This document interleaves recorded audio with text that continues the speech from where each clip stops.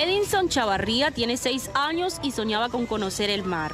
Gracias al apoyo de personas de buen corazón, hoy junto a su familia disfruta de unos días inolvidables en la Perla de América. Yo quería conocer más es muy bonito. Este pequeño guerrero padece de osteosarcoma, un cáncer en los huesos. Debido a su condición, hace un mes llegó a la Fundación Rosa Mística de Medellín, en donde lo ayudan con tratamiento y también le cumplieron su sueño.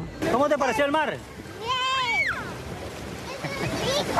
Una cuestión de modo, locura, rápido a gestionar, a conseguir los recursos para poder traer a Edison aquí a conocer el mar.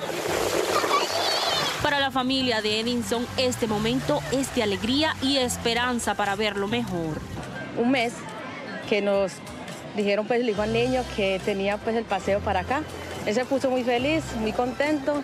Me siento muy feliz por mi hermanito. Para el pequeño Edinson, este es el mejor regalo de Reyes Magos que ha recibido y sin duda ha aprovechado al máximo el sol, la brisa y el mar.